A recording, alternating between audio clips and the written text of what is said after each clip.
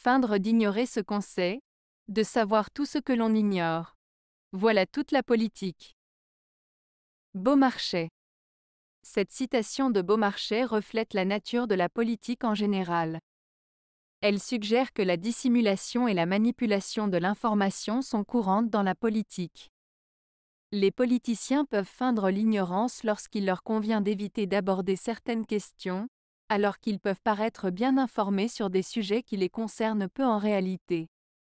Cette citation révèle la face cachée de la politique. Les politiciens utilisent souvent une rhétorique complexe et sophistiquée pour brouiller les pistes et manipuler la perception du public.